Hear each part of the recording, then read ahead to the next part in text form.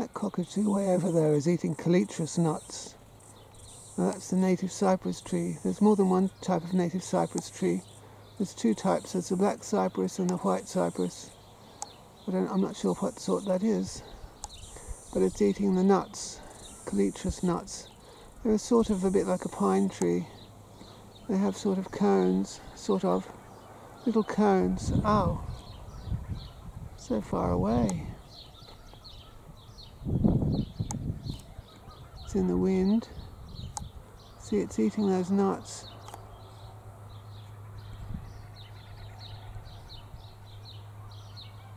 Listen to the kookaburras.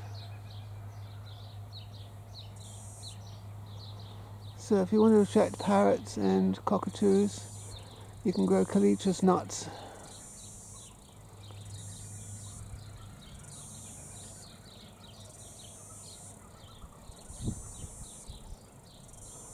There we are, my camera.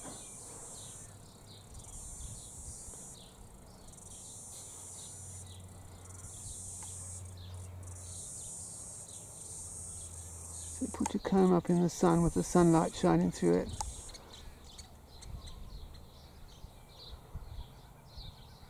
C A L L I T R A S, Callitris.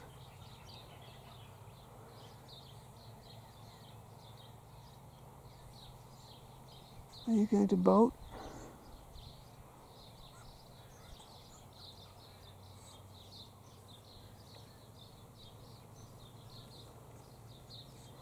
They are beautiful trees, Callitris. They're little sort of fir trees. If you didn't know anything about native trees, you would think they were just a type of conifer.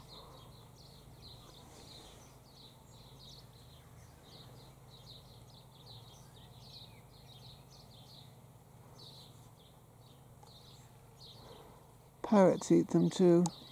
I think the cockatoos have stronger beaks and can rip the, the uh, little cones open, but there is a time when the nuts will open by themselves and uh, release the seeds a bit. So parrots do eat them too.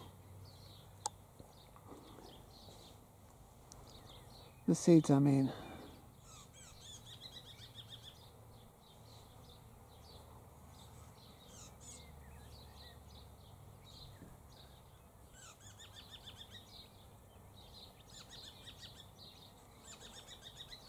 Crunch, crunch, crunch.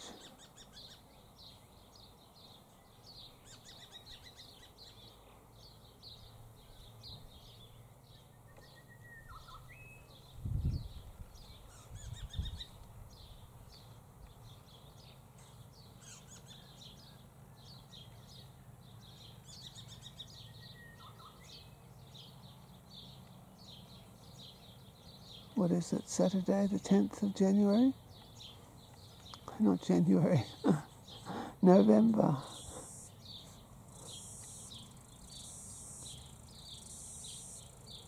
The afternoon. Must be about five o'clock daylight saving time. In the afternoon. I haven't looked at the calendar.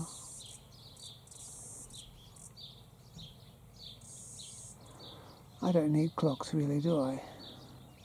I don't wear watches.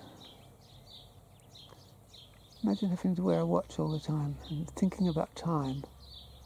There's no need.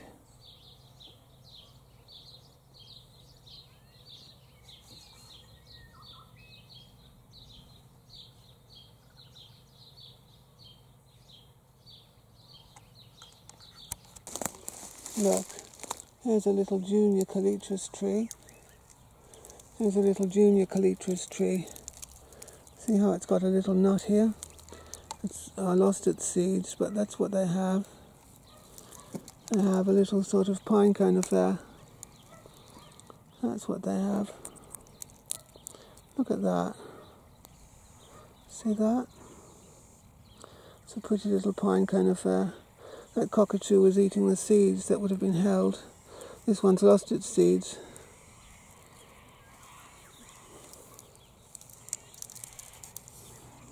Let's have a look. That's what they look like. Oops. That's what they look like.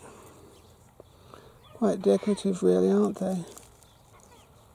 You can paint them silver or golden and use them as decorations in dried flower arrangements and things.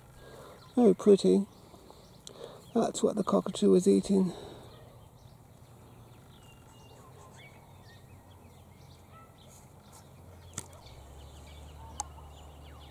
There's a silhouette of some little opened pine cones or native pine trees, little native cypress pines. They've lost their seeds, and that's the remaining shell. Very pretty. Here are some cypress nuts, Callitris nuts. You can see why they'd be used in dried flower arrangements, can't you?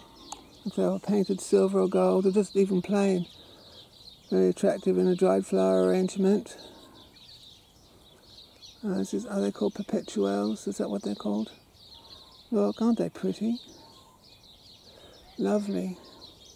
That's what the little cypress nut opens into after it loses its seeds. So if you plant a cypress tree, a native cypress, Callitris of any sort, you'll definitely attract parrots and you'll have the added boon of uh, dried flower arrangements. Uh, you could rearrange them. You could glue that on and rearrange it, couldn't you, to your liking, like artists do. Very pretty.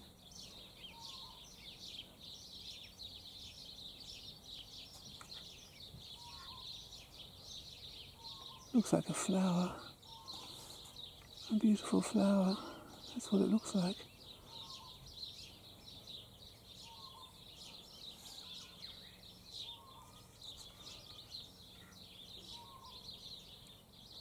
I think that's a cuckoo shrike making that noise. Is it a black-faced cuckoo shrike?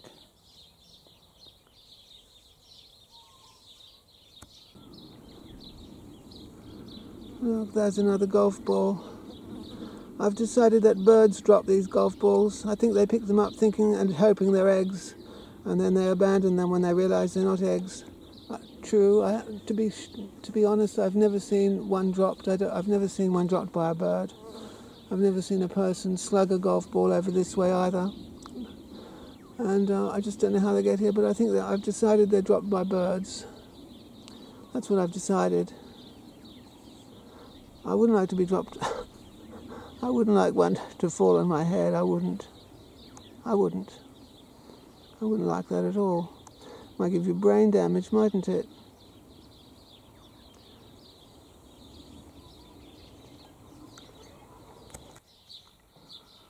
There's that little black cat near the bird bath.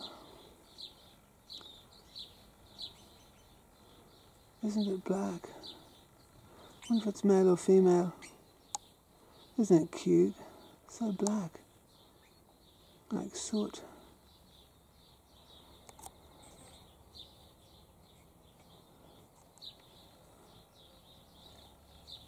It runs away when we walk near. I think it belongs to a neighbour.